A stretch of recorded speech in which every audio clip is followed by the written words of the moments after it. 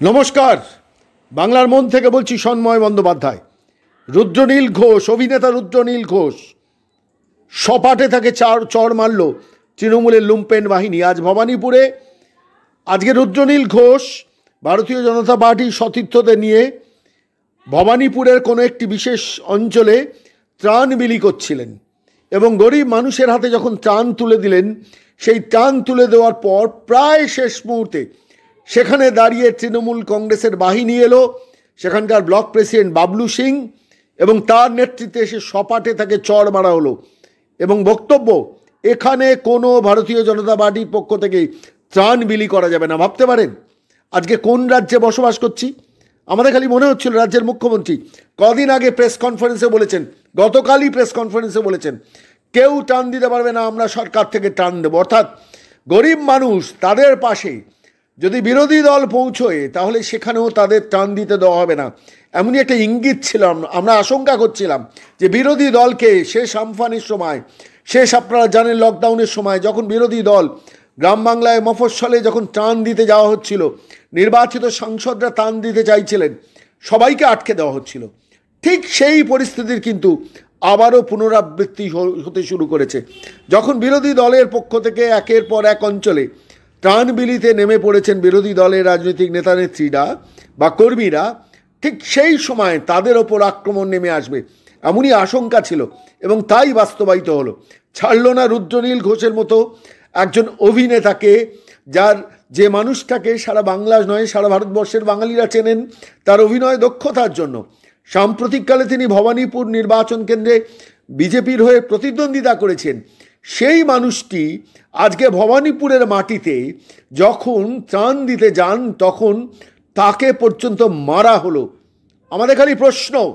মাননীয় মুখ্যমন্ত্রী, আপনি শুনুন, কান খুলে শুনুন। আপনি অভিনয় করেন, আপনি ভণ্ডামি করেন, আমরা সবাই জানি। অনুপ্রাণিত সংবাদ মাধ্যম, আনন্দবাজার বর্তমান এই সময় যে প্রশ্ন করবে না, সেই প্রশ্নটা আপনাকে করছি। যে আপনারা রুদ্রনীল ঘোষকেও ছাড়লেন না। তিনি তো আপনার সতীর্থ ছিলেন। একসময় তৃণমূল কংগ্রেসের সঙ্গে যুক্ত ছিলেন। সেই মানুষটার অপরাধ কি চুরি করেননি, ডাকাতি করেননি, লুট করেননি, শুধুমাত্র ত্রাণ দিতে চেয়েছিলেন আর সেই ত্রাণ দেওয়ার জন্য তিনি পর্যন্ত প্রহিত হলেন তৃণমূলের কাছে। কোথায় নামাচ্ছেন মমতা বন্দ্যোপাধ্যায়? হ্যাঁ আপনাকে বলছি মমতা দেবী, আপনাকে বলছি। আপনি কান খুলে শুনুন। বাংলার মাটিতে দাঁড়িয়ে আপনি যে অন্যায়, অবিচারের শাসন জারি রেখেছেন তৃতীয়বার নির্বাচনের পরও। এটি একটি জ্বলন্ত উদাহরণ। এবং একই সঙ্গে বাংলার চলচ্চিত্র মাধ্যম, বাংলার বিদগ্ধ জন, তথাকথিত বুদ্ধিজীবীগণ, সুশীল সমাজ, নৃসিংহ প্রসাদ ভাদুরী কৌশিক সেন কৌশিক সেন আপনি তো অভিনেতা। কোথায় আপনার বিবেক? একবারের জন্য, এক মিনিটের জন্য প্রতিবাদ করবেন না আপনি। এই মুহূর্তে দাঁড়িয়ে যে অনাচারটা ঘটল, রুদ্রনীল ঘোষ তিনি একজন অভিনেতা তিনি একজন মানুষ, সংবেদনশীল মানুষ। তার অপরাধ তিনি বিজেপি করেন বলে কালকে আনন্দবাজার উত্তর সম্পাদকীয় বা সম্পাদকীয় লিখবেন না ধিক কথাটা বলে লিখবে না, আসলে লেখা হবে না।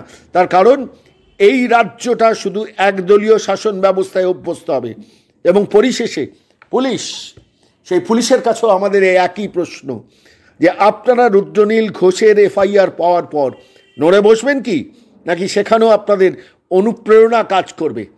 ঠিক এই বাস্তবতার মধ্যে আজকে আমরা গিয়েছিলাম সরাসরি অভিনেতা রুদ্রনীল ঘোষের কাছে।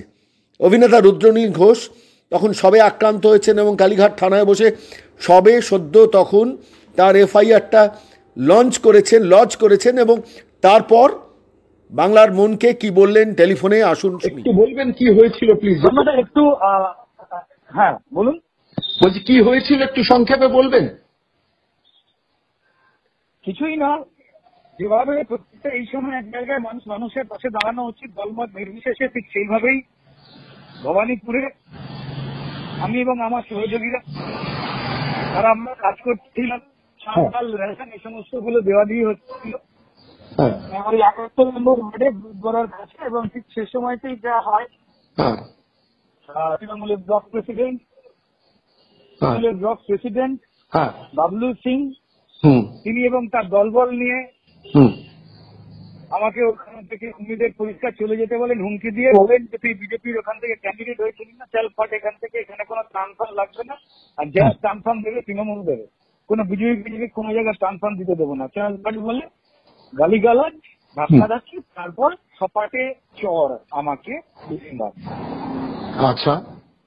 এই ঘটনা ঘটে তো কালীঘাট থানা কমপ্লেন আপনার আপনার চান দেওয়াটা কি শেষ করতে পেরেছিলেন? গ্রাম দেওয়াতে জাস্ট শেষের পথে ছিল আর কিছু জায়গা দেওয়ার ছিল। আর সেই সময় মা। হুম।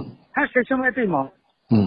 আপনি আপনি কালীঘাট থানায় ইয়ে করেছেন এফআইআর করেছেন? জাস্ট এই কালীঘাট থানায় এফআই হ্যাঁ কালীঘাট থানায় কমপ্লেন করলাম এই জাস্ট বেরোলাম ঠিক আছে দাদা আপনার সঙ্গে আমরা পরে যোগাযোগ করছি।